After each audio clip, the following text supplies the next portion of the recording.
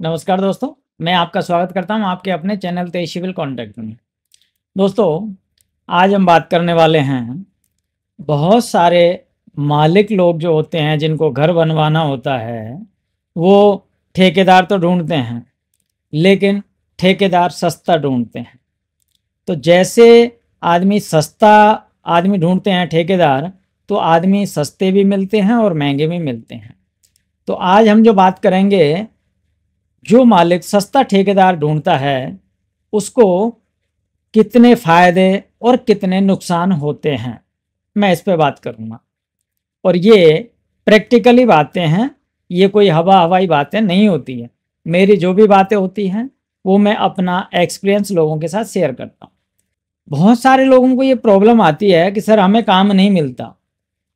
ये बहुत सारे ठेकेदार कहते हैं और वो कहते हैं सर, बहुत सारे लोग हैं जिनको कुछ नहीं आता, उनको काम मिल जाता है।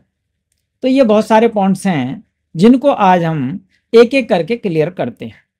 तो दोस्तों, सबसे पहले जो नए ठेकेदार होते हैं, वो और पुराने ठेकेदार होते हैं वो, ये दोनों ही ठेकेदारों की प्रॉब्लम होती है कि रेट के बारे में डिस्कशन कैसे करें।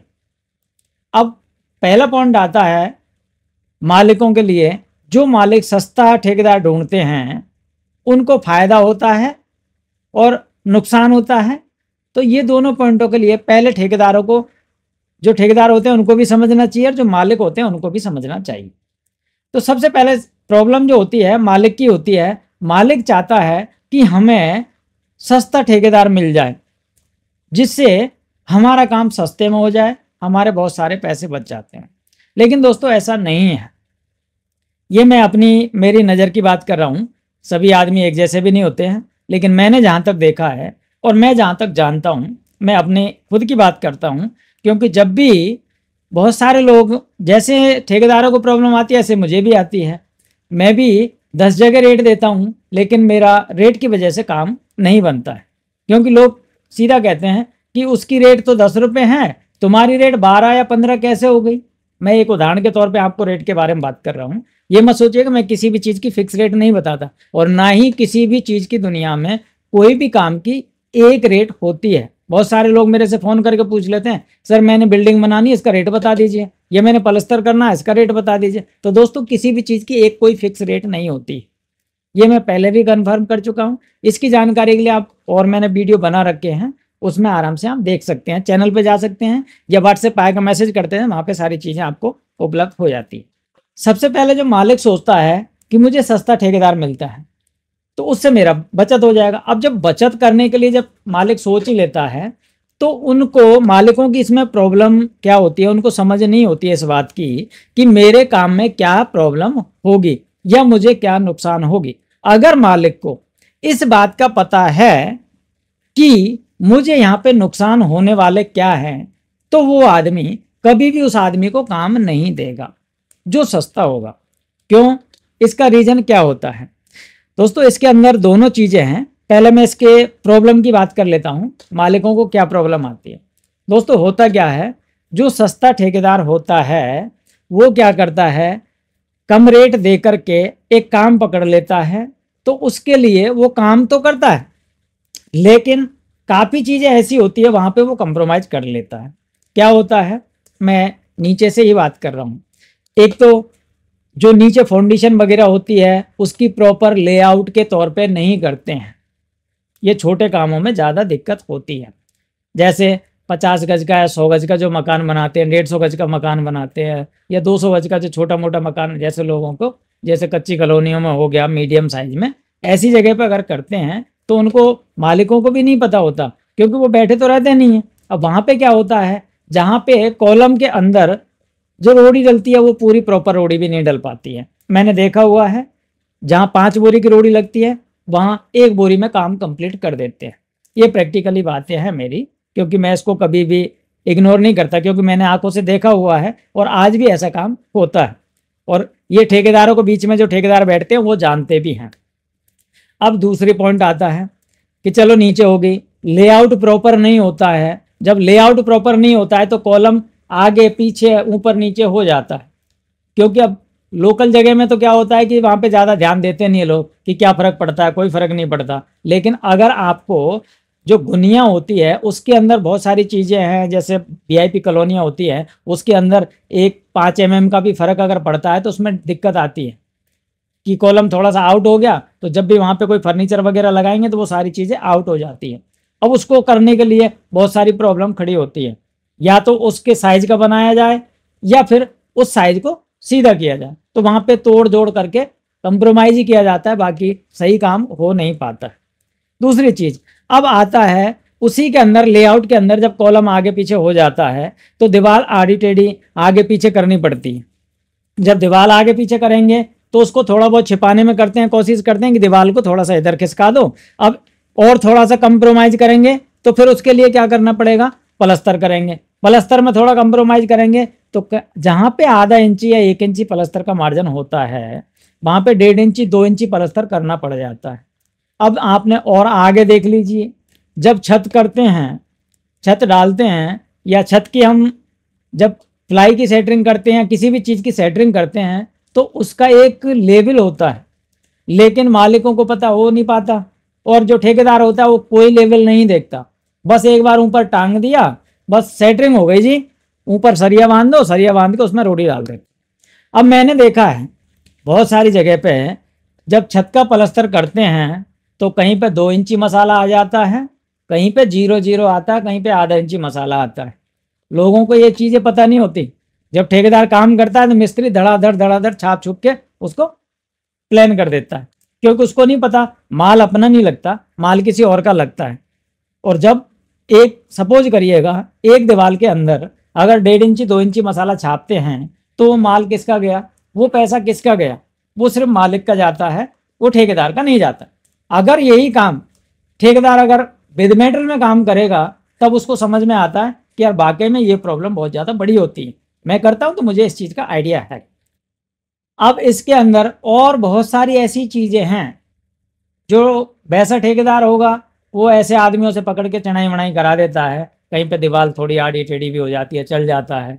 थोड़ा सा ऊपर से तिरछा कर दिया या आगे पीछे हो गया तो कहीं पे तो ज़ीरो मसाला आता है, आधा इंची आता है, कहीं पे एक इंची आ जाता है, कहीं पे डेढ़ इंची आ जाता है। क्योंकि पूरी दीवार सॉल में होती है ना तो एक अगर आधा इंची मसाला है तो आधा इंची ही ऊपर से नीचे तक आएगा। तभी तो लोग कहते हैं कि बुंदा लगा के पलस्तर करना है हमें। जब बुंदा लगा के पलस्तर कब किया जाता है? जब दीवार को एक जैसी सॉल में दिखाने के लिए। तो कहीं पे ज़्यादा अगर दीवार आड़ी टेढ़ी होगी तो उसमें मसाला ज़्यादा आता है। अब लोकल में क्या है? बुंदा लगा के कौन पलस्तर करता है? वो भी आड़ी टेढ़ी रगड़ देते हैं। वहाँ पे उनको कुछ करने की ज़रूरत नहीं पड़ती है। या दीवार को सॉल लगा के कौन देख रहा पलस्तर के बाद में? अगर कहीं पे ऐसा काम करवाना चाहते हैं, जो भी मालिक होते हैं तो उनको ये चीज़ें प्रॉब्लम फेस करनी होती है। उनको नुकसान बहुत होता है, लेकिन उनको इस चीज़ का पता नहीं होता, इसलिए उनको लगता है कि मैंने सस्ते में काम करवा लिया।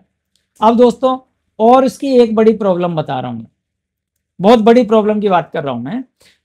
लोकल एरिया के अंदर जो ठेकेदार होता है, जो लोकल होता है, वो क्या करता है? जब भी रेट देता है तो सस्ता तो दे देगा, लेकिन जो बीम होते हैं, वो बीम नहीं देता है। प्रॉपर बीम छत पे जो भी दीवार होती है उसको अंदर बीम नहीं देता है लटक बीम नहीं देता है कॉलम टू कॉलम बीम नहीं देते हैं कुछ कह देंगे हाँ हमने तो बीम तो दिलाया है लेकिन वो क्या करते हैं उसके अंदर लटक बीम देने चाहिए तो वो लटक बीम ना दे करके पूरा प्लेन चार सरिये वैसे ही डाल दिए तो मालिक खुश हो जाता है कि हाँ हमने दीवार पे बीम दिया लेकिन वो बीम आपका एक परसेंट भी काम नहीं आता है रियलिटी में अगर आप इस बात को किसी से पूछिएगा स्ट्रक्चर इंजीनियर से पूछिएगा तो वो आपको एक एक चीज़ का जवाब दे देगा कि ये बीम जो डाला है एक्स्ट्रा सरिया डाला है, वो लोड के लिए होता है। बाकी जितनी स्ट्रेंथ हमारी लटक बीम के अंदर जो आती है, वो लटक बीम की स्ट्रेंथ होती है। उतना हमारा फ्लैट बीम जो उसके लिए दिया जाता है वो काम नहीं करता है। क्योंकि लटक बीम एक इतनी मजबूती का वो होता है स्ट्रेंथ को मज़बूत स्ट्रेंथ होती है, उसको लोड के, उसके लोड को पूरा कवर कर लेता है। तो इसलिए वो चीज़ें, वो जो लोकल आदमी होता है, वो कहता कुछ नहीं होता, जी, ऐसा कर दिया, ये सही है। तो ऐसी कंडीशन में मामला गड़बड़ा जाता है। अब आ जाइए, आप उस ठेकेदार के पास, जो अच्छी रेट देता है, ज़्यादा रेट देता है। उसका भी एक खुद का फॉर्मूला होता है। जो अच्छी रेट लेगा, वो क्या चीज़ें सोच करके रेट देता है? जो इन बातों को सोच के रेट देता है कि मुझे यहाँ पे लटक बीम देना है, लटक बीम देंगे तो लटक बीम के अंदर सेटरिंग उसकी बढ़ जाती है सेटरिंग का खर्चा ज़्यादा बढ़ जाता है, सरिये का खर्चा ज़्यादा बढ़ जाता है, चारों तरफ़ कॉलम टू कॉलम उसकी लेआउट करेगा, बाकायदा पूरी प्रॉपर रोड़ी डालेगा, और जो आदमी पूरा प्रॉपर काम करेगा तो वो तो उस काम को कर ही नहीं सकता, क्योंकि पैसे उसको भी बुरे नहीं लगते। ठेकेदार कोई भी हो, उसको काम चाहिए होता है, लेकिन उसे पता होता है कि इस काम में मेरे को यहाँ पे नुकसान हो रहा है तो नुकसान में काम कभी भी नहीं करेगा। वो सीधा ऐसी अगर कोई भी कैंडिडेट जो ठेकेदार होते हैं, वो सीधा कह देते हैं कि, सर, एक काम करिएगा, इस काम को इतनी रेट में मैं नहीं कर पाऊँगा, किसी और से करवा लीजिए। वो आदमी जानता है कि यहाँ पे इस मामले में ये मालिक भी फंसेगा और ठेकेदार भी फंसेगा। ठेकेदार उल्टा सीधा काम करता है, ये कन्फर्म होते हैं, क्योंकि वो अपना कहीं ना कहीं से प्रॉफिट निकालेगा। ठेकेदार कभी भी घाटे का सौदा करने चाहता ही नहीं है। अब उल्टा सीधा काम करेगा तो उल्टा सीधा काम रेगड़ के चल देगा, और जैसे ही चल देता है तो उसको नुकसान किस बात का? उसकी दिहाड़ी तो बना ही लेगा। और दिहाड़ी बना लेगा तो मालिक को नुकसान इतना होता है कि वो मालिक सोच भी नहीं पाता। तो इस तरीके से अगर आपको काम करना है तो आपको पहले कंप्रोमाइज करना होगा ठेकेदार की रेट में भी। और जो मालिक है, उसको भी उसमें रेट में देखना होगा कि वाकई में क्या ये चीज़ करके देगा या नहीं देगा, पूरा प्रॉपर काम करेगा लेआउट पूरी करेगा या नहीं करेगा, रोड़ी पूरी डालेगा या नहीं डालेगा। लेकिन इस चीज़ों को ध्यान रखना। और ठेकेदार एक चीज़ और कहते हैं कि मालिक, आपकी रोड़ी है जी, मुझे माल बचाने में क्या दिक्कत है? मैं तो खूब माल डालूँगा, लेकिन माल डालने की जो लेबर लगती है, वो भी एक्स्ट्रा होती है तो वो वहाँ पे भी कंप्रोमाइज कर जाता है। माल चाहे मालिक का लगे, लेकिन मालिक का माल होते हुए भी वो कंप्रोमाइज कर जाता है। क्यों कर जाता है? क्योंकि उसको बचत नहीं होती है, लेकिन लेबर की बचत तो बची जाती है तो वो वहाँ पे कहीं ना कहीं तो गड़बड़ करेगा। सस्ता आदमी कहीं ना कहीं प्रॉब्लम करता है। और एक कहावत आपने सुनी होगी कि, महँगा रोए एक बार, सस्ता रोए बार बार तो ये तो प्रॉब्लम है। अगर आपको इस तरीके से काम करना है तो आपको ठेकेदार जो भी होते हैं अच्छा ठेकेदार पकड़ना चाहिए। उसके पहले एक्सपीरियंस होना चाहिए। उससे पहले सारी बातें होनी चाहिए। उसको पहले, सबसे पहले तो आपको उसको ड्राइंग देनी चाहिए। बहुत सारे कहते हैं ठेकेदार जी आप ही ड्राइंग बना दो और मैं ये ड्राइंग बना दिया, इस ड्राइंग से आप काम कर दो। दोस्तों ये ही प्रॉब्लम की जड़ है। जहाँ पे आपको पूरी प्रॉपर ड्राइंग नहीं मिलती है, वहाँ पे काम करना भी मुश्किल है। वहाँ पे उल्टा सीधा काम कराएँगे। आगे पीछे ये छोटी दीवार हो गई, ये ये कमरा छोटा हो गया, इसको बढ़ा दो, इसको घटा दो। तो जब भी ये काम करते हैं तो वो ठेकेदार फंसता है और फिर एक बार जब आदमी फंस गया तो फंस गया। उसके बाद उसका कुछ हो ही नहीं सकता।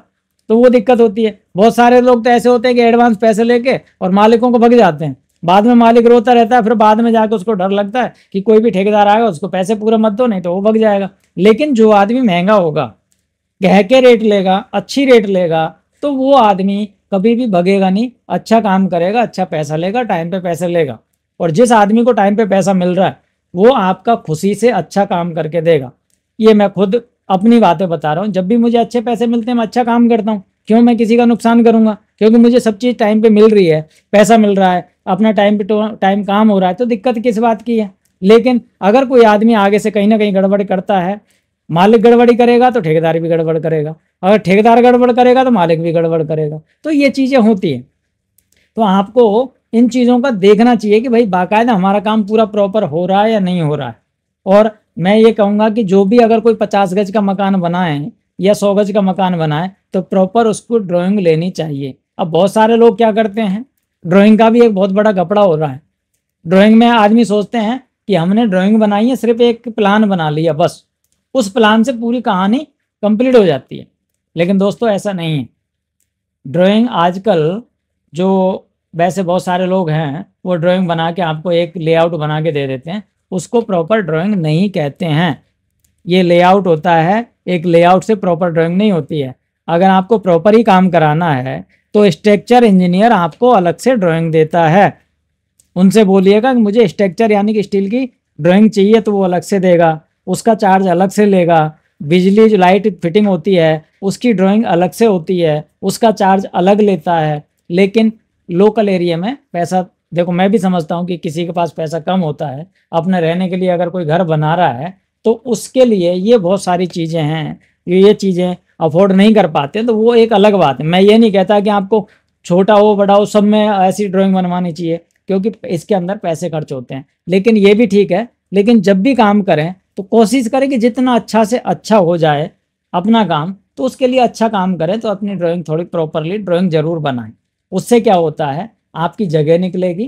क्योंकि दोस्तों, मान के चलिएगा, जो आदमी आर्किटेक्ट जो होते हैं इंजीनियर्स होते हैं, वो पाँच पाँच साल की डिग्री करके बैठे होते हैं। वो डिग्री उनकी व्यर्थ नहीं होती है। उनको किसी ना किसी प्रकार आपको उसका फ़ायदा मिलता है।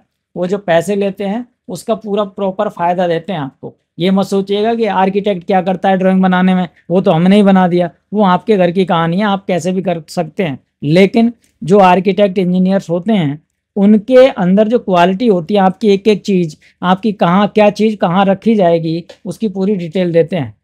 आपने कभी अगर ऐसी आपको मौका मिले तो आप बड़े प्रोजेक्टों में जाइएगा।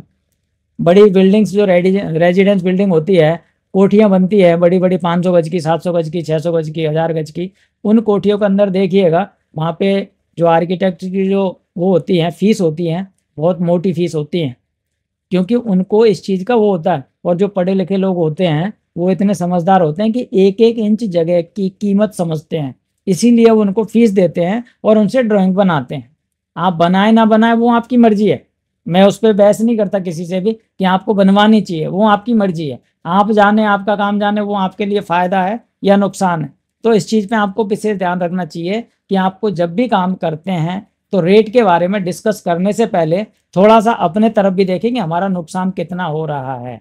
ये मालिकों के लिए पॉइंट होता है। अब ठेकेदारों का भी नुकसान इसके अंदर भी आ जाता है। ठेकेदार भी प्रॉब्लम में फंस जाते हैं। जब भी कोई काम करते हैं, उसको प्रॉपर रेट नहीं मिलता तो वो कहीं ना कहीं इधर उधर का काम करते हैं। तो दोस्तों, वीडियो थोड़ा लंबा हो रहा है। अगर आपको और जानकारी चाहिए तो आप अपने चैनल तेज सिविल कॉन्टैक्ट पर जाइएगा और सर्च कर लीजिएगा। और ऐसी जानकारी के लिए आप अपने चैनल तेज सिविल कॉन्टैक्ट को सब्सक्राइब कर लीजिए और बेल आइकन दबा लीजिए जिस आने वाली हर वीडियो आपको मिल सके। थैंक यू दोस्तों।